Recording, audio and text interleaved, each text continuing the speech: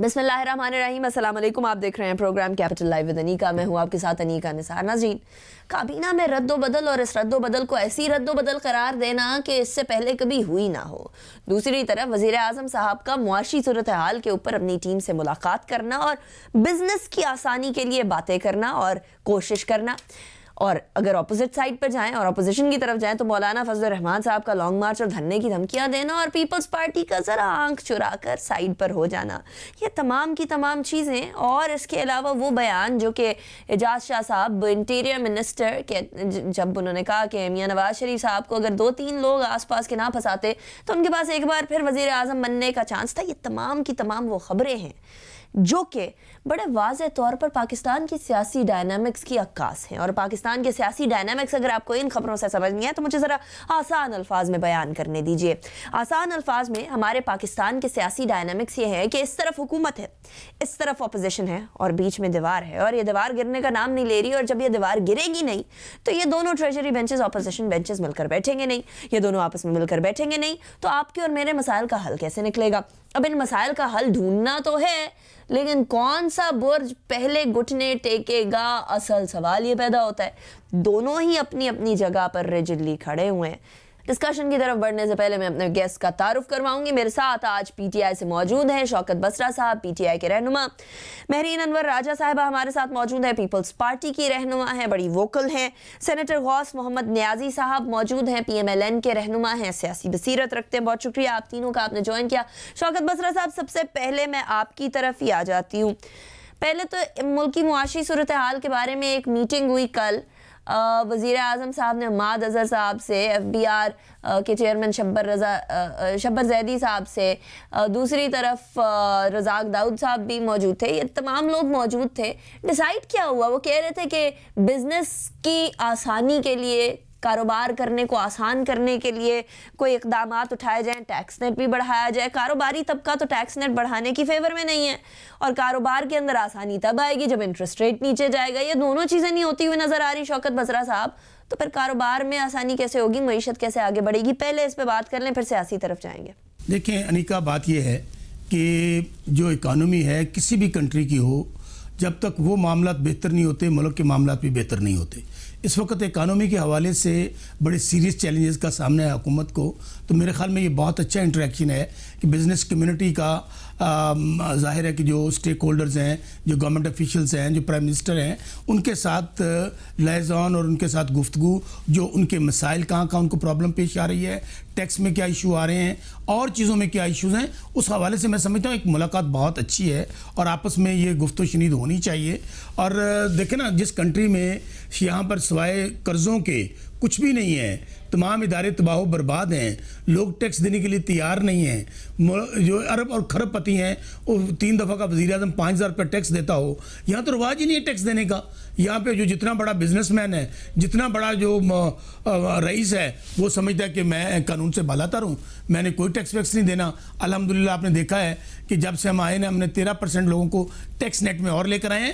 مطلب یہ ہے کہ لوگوں کو کنونس کرنا ہے کہ ہم سب کا یہ پاکستان ہے، ہم سب نے کنٹریبیوٹ کرنا ہے، ہم سب نے مل کر پاکستان کی اکانومی کو اوپر لے کر آنا ہے۔ تو اس کے لیے میں سمجھتا ہوں کہ حکومت کے درمیان اور بزنس کمیونٹی کے درمیان ایک بہت اچھا ریلیشن شپ ہونا چاہیے۔ اور اسی کی وجہ ہے کہ میں سمجھتا ہوں پرائم منسٹر صاحب نے تمام بزنس مینس کو بلایا، ان کے ساتھ آپ کے جو گورنمنٹ آفیشلز ہیں، ان کو بٹھایا، وزیر خزانہ بیٹھے۔ تو آپس میں بات چیت ہو رہی ہے، اچھی چیزیں ان کی طرف سے بھی تجاویز آ رہی ہیں، حکومت کی طرف سے بھی جا رہی ہیں۔ تو میرے خیال میں یہ بہت پازیٹیو انٹریکشن ہے، جو ان فیوچر جو خاص طور پہ میں کہہ رہا ہوں بار بار کہ ہم نے اکانومی کو بہتر کرنا ہے، یہ ہمارے لیے چیلنج ہے۔ اگر ماضی کے حکمرانوں نے اس کا بیڑا غرق کیا پاکستان کا، ہم تو چیلنج لے کر آئے ہیں۔ ہم سٹیٹس کو کے خلاف آئے ہیں۔ اس لیے ہمارا کنسرن بھی زیادہ ہے۔ آپ دیکھ رہے ہیں کہ پرائم منسٹر بار بار اکانومی کے اوپر بہت کنسرنڈ ہیں۔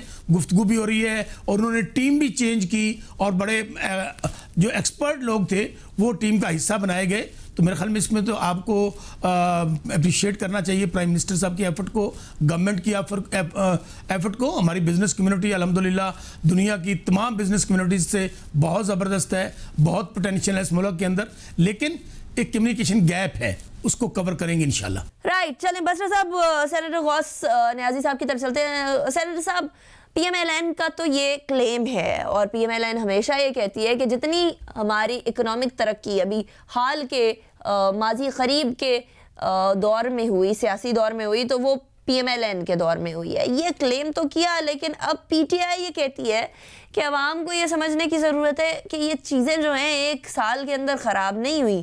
یہ چیزیں خراب چلی آ رہی تھیں، اس کو کارپٹ کے اندر انڈر دبائے چلے جا رہے تھے اور کارپٹ اوپر ڈالے چلے جا رہے تھے۔ اس کا مطلب یہ نہیں تھا کہ سب ٹھیک تھا یا all was well all was not well یعنی ڈائریکٹ ہیٹ آپ لوگوں کی طرف ہے کہ معیشت اصل میں آپ لوگوں نے خراب کی ہے۔ اب تو اس کے بعد کے جو ریپرکشنز ہیں وہ بھگتنے پڑ رہے ہیں۔ ہاں، دیکھیں جی آپ کا کوشچن تو بڑا ویلڈ کوشچن بنتا ہے، لیکن حقیقت یہ ہے کہ آپ نے دیکھا ہوگا اور معاشی اشاریت اور جو دنیا کی جو اکانومی کو ریٹنگ کرتی ہیں کمپنیز ہیں مختلف، آپ ان کا ڈیٹا اٹھا کے دیکھ لیں۔ تو ہمارے دور میں تو بہت بہت اچھی ترقی ہو رہی تھی گروتھ ریٹ کہاں جا رہا تھا، روپے کی قیمت کہاں جا رہا تھی انفلیشن ریٹ کہاں تھا، شرح سود کیا تھی۔ وہ سب کے سامنے ہے۔ اور دنیا یہ نہیں ہے کہ وہاں بیٹھ کے باہر ملکوں میں بیٹھ کے جو یہ اشاریہ بنا لیتی ہے یا رپورٹ بنا لیتی ہے، یقیناً وہ ان کے ادھر نمائندے ہوتے ہیں، وہ ہر چیز پہ ان کا چیک اینڈ بیلنس ہوتا ہے اور اس کے مطابق وہ اپنی رپورٹ بناتے ہیں۔ تو یہ یہ جو پی ٹی آئی والے کہہ رہے ہیں، یہ ایک سال پہلے بھی یہی کہہ رہے تھے، اب سوا سال ہو گئے، سوا سال بعد یہی کہہ رہے تھے کہ جی جتنا تھا یہ انہوں کے دور کا تھا۔ اور پھر کوئی ایک چیز ہوتی ہے نا ایک چیز کی حد ہوتی ہے کہ جی ایک سال سوا سال ہو گیا تو ہم نے سوا سال میں یہ کر دیا۔ ایک چیز پہ یہ سوچ دیتے ہیں کہ ہمارا جو فزیکل ڈیفیسٹ ہے وہ ہم کم کرنے میں کامیاب ہوئے ہیں۔ بھئی آپ ادھار کا تیل لے رہے ہیں، تین گنا زیادہ قیمت پہ جو ہے وہ بیچ رہے ہیں اور پھر کہتے ہیں ہمارا فزیکل ڈیفیسٹ کم ہو گیا۔ کوئی باہر سے آپ نے امپورٹ نہیں ہو رہی، کوئی مشری نہیں ہو رہی جی جب تک ملک میں ٹیکنالوجی نہیں آئے گی، تو کیسے ہمارا ملک ترقی کرے گے کہاں کارخانے لگیں گے؟ لوگوں کو روزگار ملے گا۔ ہمارا ملک کب ہم ایکسپورٹ بڑھنے کے قابل ہوں گے؟ تو وہ بھی آپ نے بند کی ہوئی ہیں؟ تو اس طرح تو مطلب ہے، یہ کیا فزیکل ڈیفیسٹ کرنے فزیکل ڈیفیسٹ کام کرنے کا بہترین طریقہ دے یہ تھا کہ آپ ملک میں اسٹیبلٹی لازے فائنینشیل ایکٹیویٹی زیادہ ہوتی ہے ہماری ایکسپورٹ بڑھتی، تو یہ طریقہ تھا۔ لیکن تو آپ تو ان کو کوئی سمجھ ہی نہیں ہے۔ اور ایک فگر جن کا جو بھی جو آتے ہیں، ٹی وی پہ جو ذمہ دار لوگ ہیں، وہ ایک کاغذ پکڑ کے لے آتے ہیں کہ جس میں جی ہم نے یہ کیا عمر وہ کیا، سارا جھوٹ کا بلندہ مطلب اتنا جھوٹ ہم نے زندگی میں نہیں دیکھا کہ اتنا جھوٹ اور اتنی ٹھٹائی سے جھوٹ بولتے ہیں اور اتنے فگرز دیتے ہیں کہ انسان حیران رہ جاتا ہے۔ اور پھر اس قسم کے آپ نے دیکھا کہ ایک جو ہے، آپ نے آپ نے سوشل میڈیا پہ دیکھ لے ایک جعلی پوسٹ لگا کے اس پہ تبصرے کرتے رہتے ہیں۔ ابھی ایک انہوں نے کہا کہ جی ایک امیرکن جو جو تھا کانگریس مین تھا وہ کیا نام تھا اس کا نام بو بکر تھا یا اس قسم کا بو بکر تھامس تھا کیا اس کے نام سے چلا دی کہ جی اگر عمران خان سلیکٹڈ ہے تو بہت اچھی سلیکشن ہے اگر الیکٹڈ ہے تو میں پاکستان کی قوم کو سلام پیش کرتا ہوں اور وہاں سے پھر اس نے نیو یارک ٹائم نے اس کی تردید کر دی بی بی سی نے اس کی تردید کر دی تو یہ اس قسم کی چیزوں سے لوگوں کو یہ جو جھوٹ کا پلندہ بنا کر لوگوں کو خوش کرنے کی کوشش کر رہے ہیں، لیکن عام آدمی کی جو ہے، اس کو کیا چاہیے؟ وہ آپ یہ جتنے فگر بتا دیں کہ ہم اتنے پازیٹیو جا رہے ہیں، اتنے ابھی ہو جائے گا، وہ چاہتا ہے، دیکھتا ہے کہ بجلی کا بل میرا کتنا آیا گیس کا بل کتنا آیا مجھے فروٹ کتنا ملا میرے بچوں کو تعلیم کیسی ہے، میرے بچوں کی صحت کا کیا ہے، کیا مجھے استاد سے فری دوائیں مل رہی ہیں، نہیں مل رہی ہیں۔ تو تو لوگ، تو عام بندے کا تو یہ معاملات ہیں۔ اس میں آپ دیکھیں کہ کتنی انہوں نے کی ہے اس میں؟ سارے مطلب ایک ہفتے میں آج میں نے سنا ہے پھر گریڈ بڑھا، ایک ہفتے میں دو دفعہ بھی گریڈ بڑھ چکے ہیں اور میں نے سنا ہے آج پھر بڑھا رہے ہیں۔ کیونکہ پینسٹھ پیسے بڑھ بڑھی کل انہوں نے ڈیڑھ روپے بڑھائی اور وہ بھی اگست تھے۔ اور پھر بھی آج سنا شام کو ایٹی تھری پیسے کے پھر خبریں آ رہی ہیں۔ تو یہ ملک کہاں جا رہے ہیں اور ملک، اور آپ دیکھیں کہ جو ہے جتنا تاجر طبقہ ہے، وہ کل آرمی چیف سے ملا ہے کہ خدا را آپ انٹروین کریں، آپ ان کو پروٹیکٹ کر رہے ہیں تو ملک ہمارا جو ہے وہ چلنا چاہیے، کسی چیز میں چلنا چاہیے۔ تو اس آرمی چیف نے اس کو وعدہ کیا ہے کہ میں اس کو دیکھتا ہوں۔ تو یہ چیزیں ہیں، آپ دیکھ لیں کہ اگر اتنی اچھی چیز ہوئی تو لوگ، جو بزنس میں نے آرمی چیف کے پاس ہونا تھا نا آرمی چیف تو ایک لوگ فوج کی طرف تب دیکھتے ہیں جب سولین ادارے ناکام ہو جائیں۔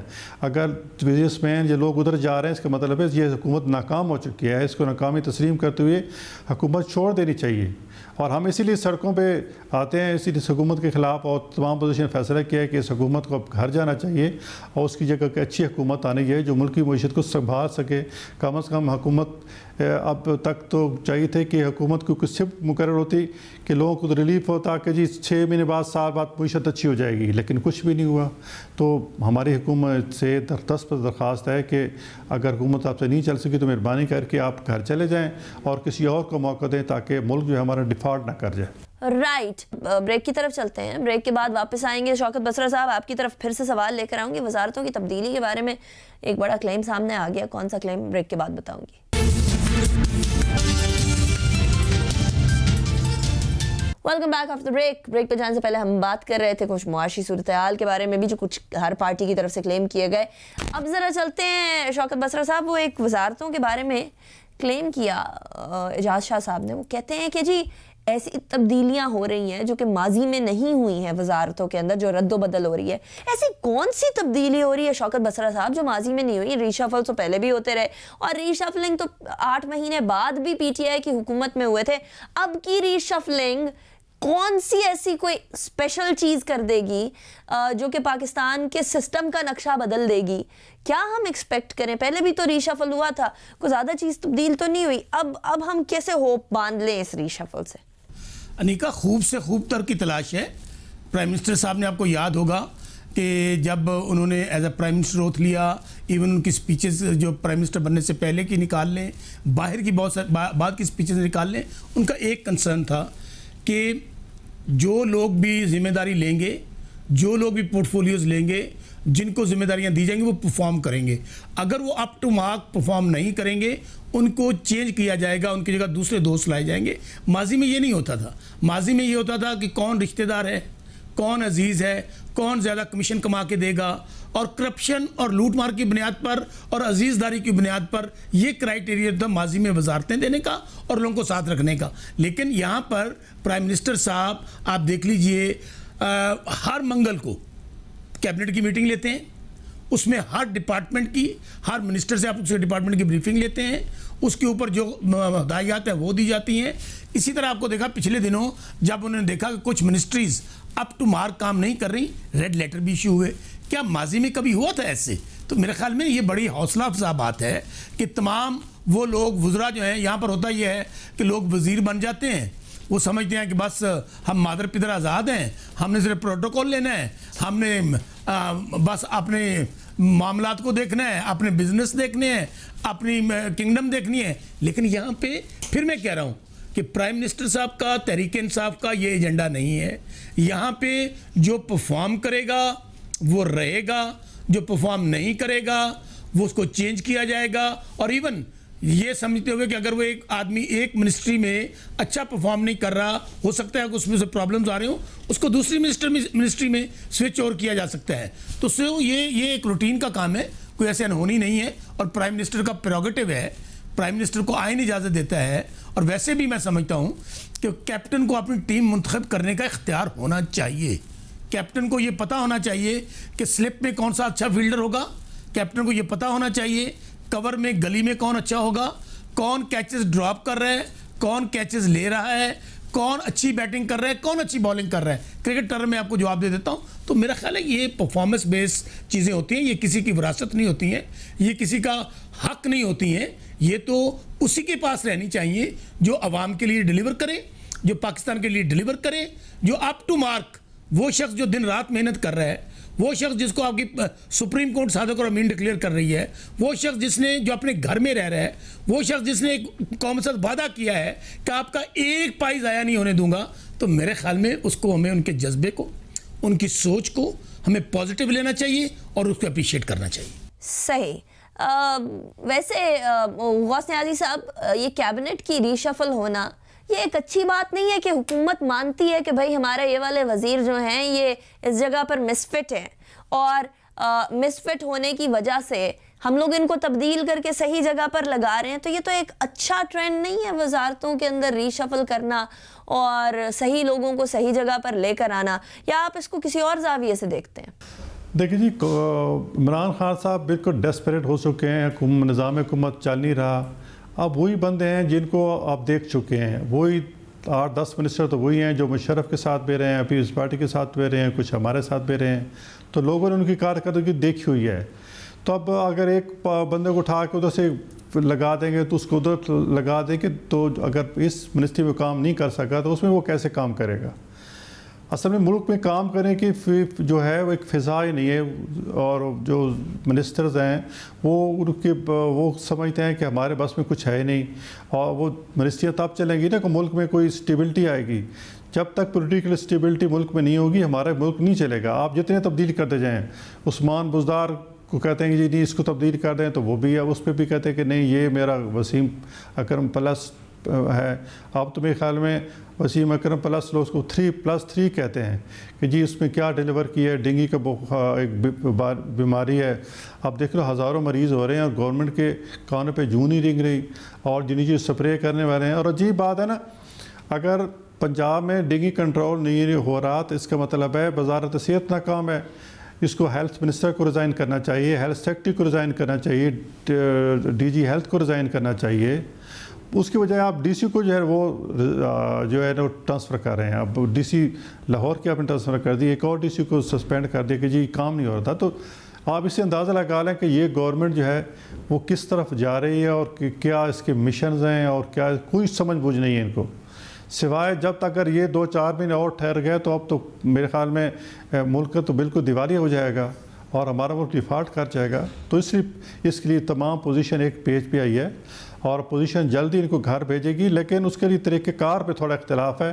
وہ بھی چند دن میں طے ہو جائے گا۔ فضل الرحمان صاحب تو اعلان کر دیے، وہ ستائیس اکتوبر کو کریں گے اور ہم بھی انشاءاللہ ہماری پارٹی بھی جو ہے طریقے سے ان کے ساتھ شامل ہوگی اور انشاءاللہ آپ جلد دیکھیں گے اس حکومت نجات ہوگی اور ایک اچھی حکومت آئے گی۔ ود ان دا ہاؤس تبدیلی آ جائے، بلکہ ہمارا تو وجہ ہے کہ نئے الیکشن ہونے چاہیے۔ جو شفاف اشیاف شفاف اور شفاف ہوں، تاکہ جو صحیح قیادت جو ہے، وہ عوام کی صحیح نمائندہ ہو، پھر وہ جرت اور اس کے ساتھ فیصلے کر سکے اور ہمارا ملک جو ہے، اچھی ترقی پہ کامزانک ہو جائے اور ایک کریڈیبلٹی ہوتی ہے۔ ہمارے دیکھو ہماری جب بھی نواب میاں نواز شریف صاحب وزیر اعظم بنے، تو فوراً ہی چاہیے کہ پریزیڈنٹ نے فون آیا کہ ہم پاکستان کا سی پیک معاہدہ کرنا چاہتے ہیں۔ اس کی وجہ کیا تھی کہ وہ جانتے تھے کہ یہ ملک کو چلا سکتے ہیں، یہ ملک کو ترقی کی راہ پہ گامزن کر سکتے ہیں اور جو پروجیکٹ ہوگا اس پہ وہ اس پہ پاکستان بھی ترقی کرے گا۔ لیکن یہ جب سے آئے ہیں تو سی پیک بالکل پیچھے چلا گیا ہے۔ پچھلے ایک سال میں کوئی سی پیک پہ کام نہیں ہوا، پھر جن کا جو رزاق داؤد صاحب ہیں، انہوں نے کہا کہ ایک سال کے لیے مؤخر کر رہے ہیں، انہوں نے ایک سال کے لیے مؤخر کر دیا۔ یہ پرسوں میں ایک تھا کہ جو یہ سیکنڈ فیز کے لیے بھی یہ چاہے سی پیک کی کانفرنس تھی۔ سرینا میں ہمارے سینٹر مشاہ حسین نے آرگنائز کی تھی۔ اس میں منسٹر بھی آئے تھے پلاننگ والے خسر بختیار صاحب اور چائنیز انویسٹر بھی تھے۔ تو جب خسر بختیار صاحب نے کہا کہ ہم انشاءاللہ سیکنڈ فیز شروع کر رہے ہیں اور پھر جب چائنیز انویسٹر کی باری ہے تو اس نے کہا جی ویئر اینڈ وین یعنی کہ وہ تو تیار بیٹھے ہیں، آپ کی طرف سے سستی ہے، آپ ہمیں جگہ بتائیں کہاں کرنا شروع کرتے ہیں۔ لیکن مجھے سمجھ نہیں آ رہی کہ کس کے پریشر پہ یہ سب چیزیں ڈیلے کر رہے ہیں۔ ایک آپ نے سعودی عرب کو اسٹریٹجک پارٹنر بنا لیا، اس کو گوادر پورٹ گوادر جو آئل آئل ریفائنری کو دے دی، اور وہاں وہ آئل سٹی بھی وہ بنائے گا۔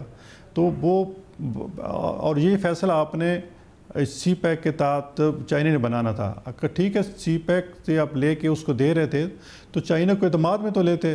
اس کے باوجود چائنا نے بڑے دل کا مظاہرہ کیا ہے، اس نے کہا کہ ٹھیک ہے، اگر ان سے کرنا چاہتے ہیں تو میں سے قبول ہے۔ تو یہ اس قسم کے ان میں چو چیزیں کر رہی ہیں، جس سے بزنس مین ہمارا گھبرایا ہوا ہے اور وہ گھر میں بیٹھا ہے اور وہ چیخے مار رہا ہے کہ ہمارا بزنس چل نہیں رہا، ایک سال ہو گیا اور ہمیں کوئی امید بھی نہیں ہے کہ اگلے چھ مہینے، سال میں چل جائے۔ تو یہ میں تو یہ کہوں گا کہ اللہ تعالیٰ اس ملک پہ رحم کرے اور تمام تمام سیاسی پارٹیوں کو اور ہمارے مقتداروں کو بیٹھ کے اس پہ سوچنا چاہیے، اس کے حل تلاش کرنا چاہیے۔ رائٹ بریک کی طرف چلتے ہیں بریک کے بعد آتے ہیں، واپس اس کے بعد پھر شو کو کنٹینیو کریں گے۔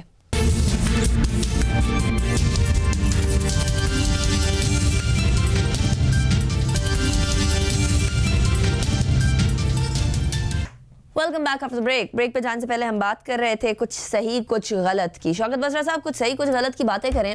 تو آپ لوگ ابھی مولانا صاحب کے دھرنے کو، مولانا صاحب کی لانگ مارچ کو غلط کہہ رہے ہیں۔ کہہ رہے ہیں، دیکھیں، یہ تو صرف اور صرف سیاسی انتقام کے لیے کر رہے ہیں۔ ان کو ایک غصہ ہے کہ وہ پارلیمنٹ میں نہیں آ پائے اس دفعہ۔ ان کو پارلیمنٹ لاجز خالی کرنے پڑ گئے۔ اس طرح کی باتیں ہم لوگوں کو پی ٹی آئی کے سے سننے کو مل رہی ہیں۔ لیکن آپ لوگوں نے بھی دھرنا کیا تھا۔ آپ لوگوں نے بھی احتجاج کیا تھا۔ احتجاج کے بارے میں تو آپ لوگوں نے خود کہا تھا کہ جی آئیں، ہم تو کنٹینر بھی پرووائڈ کریں گے۔ تو کیا چیز ایسی تبدیل ہو گئی شوکت بسرا صاحب جو ابھی کی لانگ مارچ کی جو باتیں ہو رہی ہیں، اس سے کہیں پی ٹی آئی گھبرا تو نہیں گئی ہے؟ کہیں خوفزدہ تو نہیں ہو گئی کہ مولانا فضل الرحمان صاحب جو ہیں کہیں گڑبڑی نہ کر دیں حکومت کے لیے؟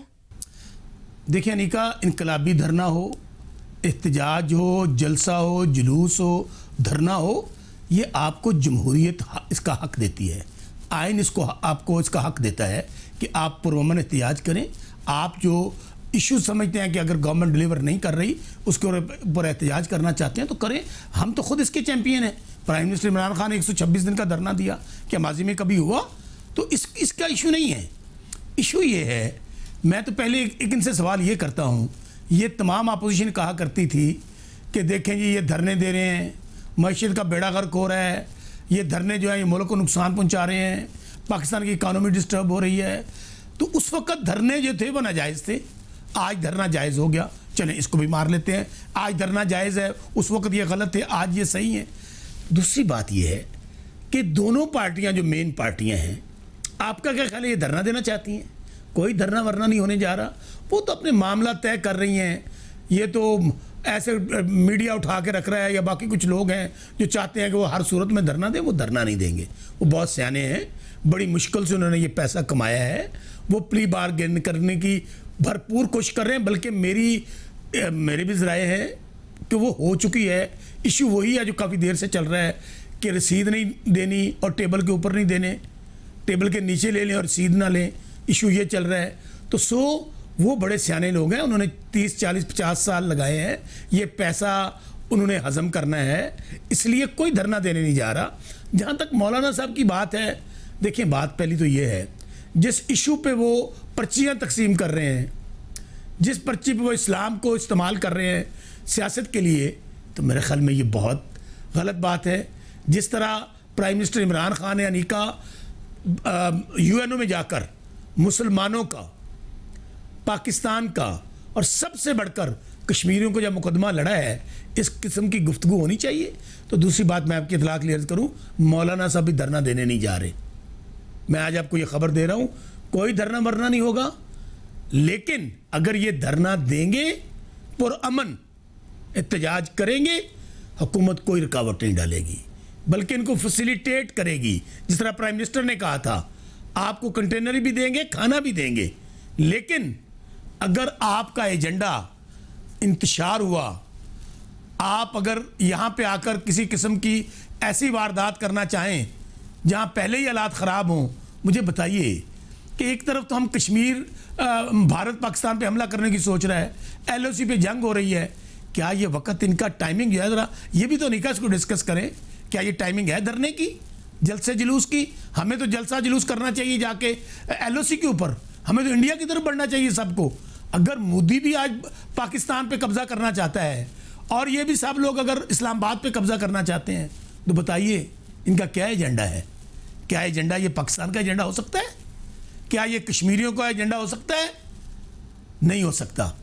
اس لیے آج ان کا دھرنا جو ہے، وہ پہلی بات تو نہ پاکستان کے مفاد میں ہے، نہ کشمیریوں کے مفاد میں ہے، نہ قوم کے مفاد میں ہے۔